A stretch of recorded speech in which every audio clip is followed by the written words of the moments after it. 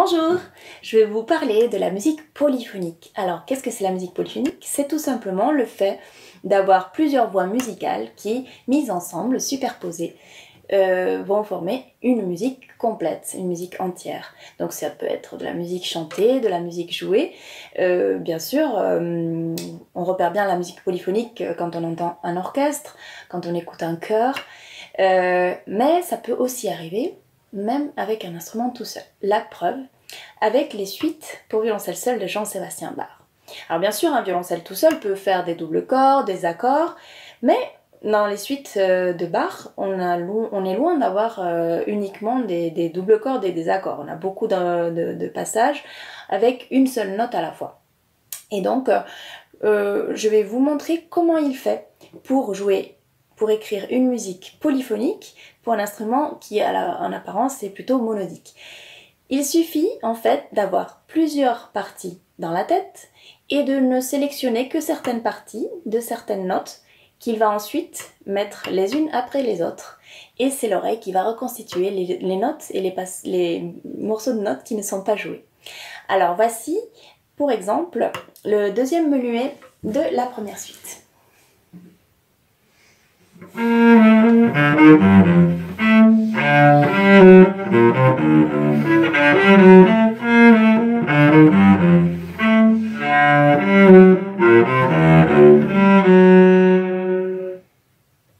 on commence par une note qui est aiguë, qui pourrait être la, voix du haut, la voix du milieu et la basse.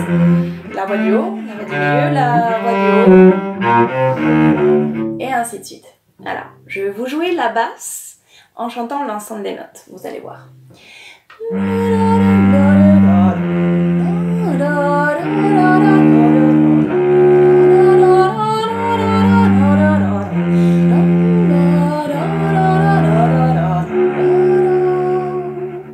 Si je vous fais la voix du milieu.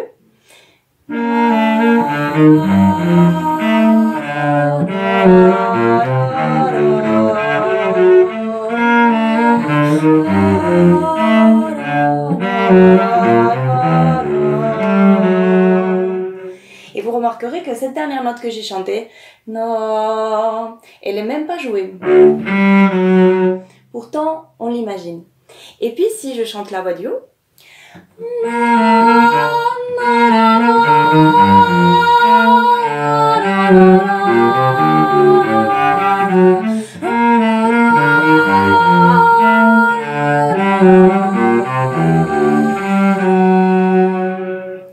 Donc vous voyez que on pourrait avoir toutes ces parties euh, entières, mais il ne peut pas toutes les faire jouer, donc il a sélectionné certaines parties de ces notes, et ainsi on a ce résultat qui est, j'espère, vous allez entendre différemment maintenant que vous avez vu comment on peut faire euh, compléter euh, tout ce qu'on peut imaginer par l'instrument.